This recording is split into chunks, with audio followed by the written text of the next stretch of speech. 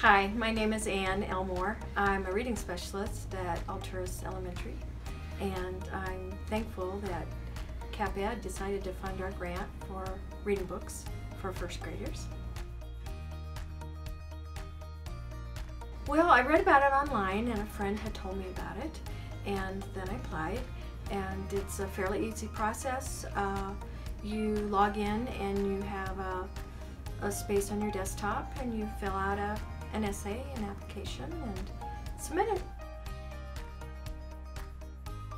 Oh yeah, it really was. It was about, oh I don't know, maybe three paragraphs, and then you have uh, your budget for the items that you need to purchase, and you get your principal's approval, and then you send it in. And it was only like a week ago, so I heard back really quickly.